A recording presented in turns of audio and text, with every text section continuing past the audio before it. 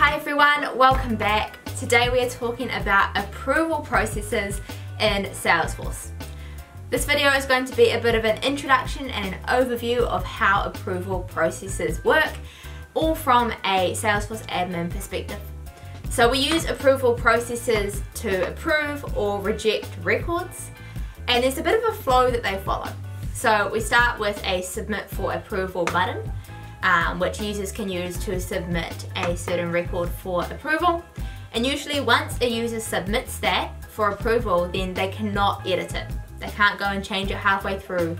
And the reason for this is because if a user goes to submit something and then it gets submitted and then they change it, but it still shows as if it's been approved for the changed version when it actually hasn't, then it kind of defeats the purpose, you know. It's not a very good thing to be able to do. So usually once it's been submitted, users cannot edit it anymore.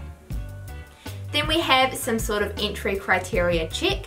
So there needs to be a check to say, all right, is this suitable to be in the approval stage? Or are there certain things that need to happen for this record to be able to be um, submitted for approval? You know, do XYZ fields need to be filled out? Or does there need to be a discount of more than 5%? Um, and only then would you allow a record to be submitted for approval. So we go through those entry criteria checks.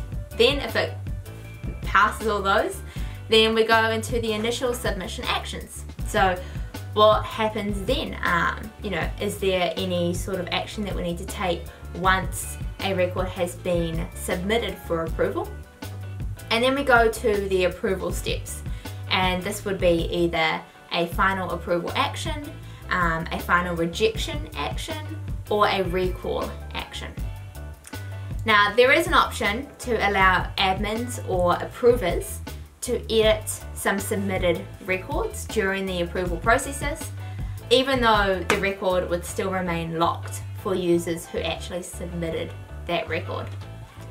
Now when it comes to those final approval actions or those final rejection actions or the recall actions, there are four different actions that we can choose from and these are the same four actions that we can actually do in a workflow. So if you're familiar with workflow rules, then you'll know that the four actions that we can take are creating a task, sending an email alert, um, doing a field update, or an outbound message.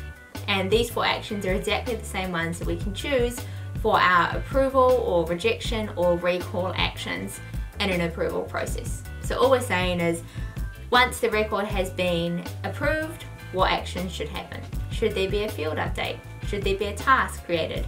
Should someone be emailed? And then we decide the same thing for if the record is rejected or if at some point the record has been recalled. So that would usually happen if a user submits a record for approval and then they think, oh, I just forgot this one thing or oh, this has changed. So they would recall their approval um, and what actions do we want to automate when that happens.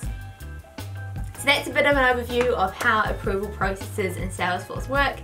We're going to get into a little bit more of the details in our next video, so stay tuned. Otherwise, I'll see you back here next time for some more awesome Salesforce content. Catch you later.